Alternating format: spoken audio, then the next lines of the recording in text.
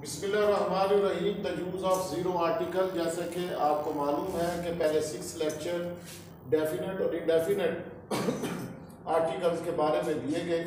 Article one two lecture number one two three में हमने पढ़ा ए और एन का इस्तेमाल। फोर फाइव सिक्स में हमने पढ़ा दी और दी और दा का इस्तेमाल। और लेक्चर नंबर सेवन में हम हाजिर हैं ज़ीरो आर्टिकल के साथ। ज़ीरो आर्टिकल का हमने पिछले लेक्चर में ये ज़िक्र किया कि ऐसे आर्टिकल को कहते हैं जहाँ पर आर्टिकल यूज़ ना होता हो। अब आर्टिकल से ये अमराद ए एन ओ डी है। लेकिन ये बात जहन में रहे कि ज़ीरो आर्टिकल भी उतना ही इम्पोर्टेंट है इसकी टेक्निक्स भी जितनी importance a an or the या दा लगाने की है। लेकिन ज़ीरो आर्टिकल के लिए एक आपको बड़ा टेक्निकल माइंड होना पड़ेगा।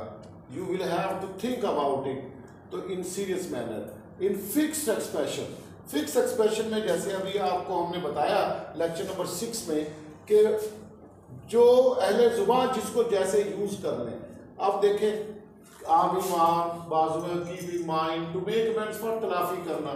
एक्चुअली प्रॉब्लम क्या है? आप कहेंगे जी इसमें, हम एक जो स्टूडेंट होता है एट द इनिशियल लेवल या कैजुअल लेवल पे वो तो ये कहता है कि यहाँ यहाँ तो ठीक है, लग रही भी चाहिए था।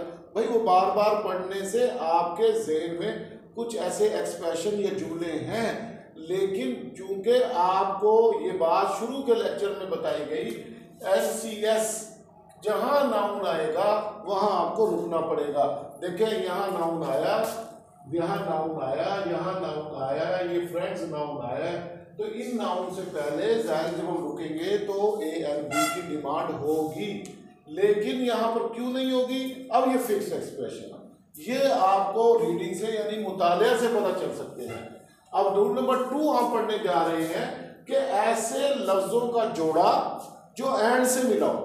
ऐसे लफ्जों का कपल या पेयर जो एंड से मिला हो कंजक्शन एंड से मिला हो, वैसे कंजक्शन जो दो लफ्ज़ों को मिलाए, वो भी कंजक्शन हो सकती है।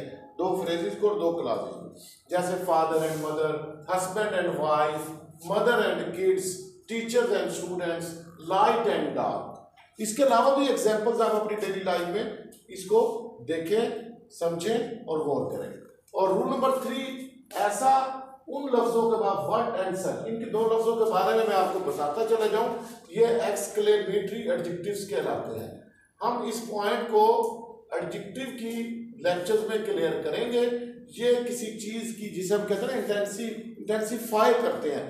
जैसे what what a shot what a six तो such beautiful people how nice it is तो सच बुक्स तो जब सच या वट लगो हाँ जैसे व्हाट अ बिज़नेस वो एक अलहदा सा एक्सप्रेशन है जब एक्सक्लेमेटरी एडजेक्टिव बन के आएगा Otherwise, there's a what nonsense you are, what idiots you are doing, what insanity you have.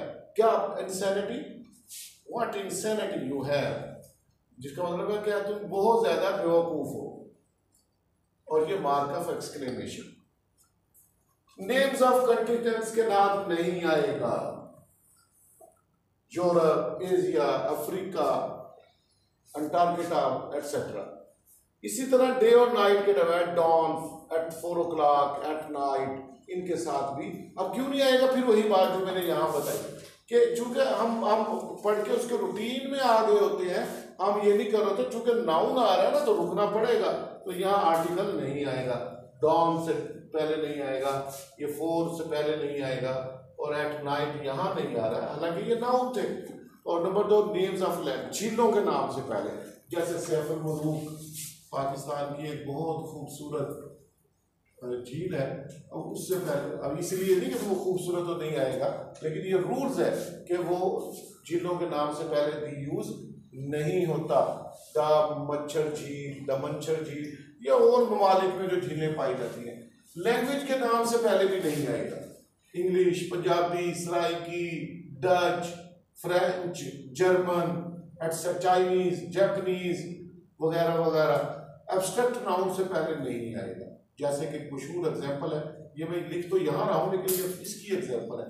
Honesty is the best policy अब आप कभी भी नहीं पढ़ेंगे कि ओनेस्टी से पहले डी लगा हो ये ज़ीरो आर्टिकल की जगह है। लेकिन वो चीज़ जहन में रहे। कि जब कंपेयर और कंट्रास्ट होगा, फिर आ सकता। जैसे मैं कह the honesty of the people of Pakistan is better than the honesty of people of Iran तो ये एक अलग चीज़ है। या the honesty of Pakistani is not as good as the honesty in Iran तो जब हम कंपैरिजन करते हैं तो फिर हम उसके साथ भी लगा सकते हैं। या आप कहते हैं the honesty of my brother is preferable to the honesty of my sister तो जब कंपैरिजन होगा, फिर लगा सकते हैं। अदरवाइज़ एब्स्ट्रैक्ट नाउन के साथ भी नहीं आएगा। मटेरियल नाउन के साथ भी नहीं आएगा। जैसे water is the sign of life water is the sign of life मैंने आपको बताया ना, जहाँ नाउन आएगा, आपको देखो साइन जिस नाउन के बाद आप आए, उससे पहले दी लेते हैं ये हम पिछले अपने लेक्चर में इस बात को कवर कर चुके हैं। अब वाटर है ना, ये वाली जो जगह है, हालाँकि ये नाउन है रुकना है काउंटेबल है, ये सिंगुलर है, हमने इस बहस में नहीं जाना। हमें ये पता है कि मटीरियल नाउन जैसे milk is the complete diet अब मिल्क से पहले नहीं आएगा। लेकिन the water found in Shorkot is salty as compare to the water found in Khanewal अब आएगा। क्यों? अब कंपैरिजन हो गया। तो इसी तरह आप देखें मटीरियल नाउन जो है आयरन है जैसे। नहीं आएगा। या जैसे gold is a precious element gold से पहले नहीं आएगा। लेकिन इनसे जो आगे प्रोडक्शन होगी जो इनसे चीज़ें बनेंगी, उनसे आएगा। जैसे अब आयरन से आप डी आयरन बन जाती है गेट्स बन जाते हैं, उनके साथ ये आ सकता है। और रूल नंबर जो टेन है माउंटेन्स के नाम के साथ ये नहीं आएगा। जैसे कि पिछले लेक्चर में भी एग्जांपल के टू की है। अब हम माउंट एवरेस्ट की एग्जांपल दे देते हैं। Mount Everest is the highest peak in the world in the world अब ये जो, चूँकि अब ये ये वाली जो जगह है, चूँकि ये नाउन है, इसलिए ये यहाँ नहीं आएगा।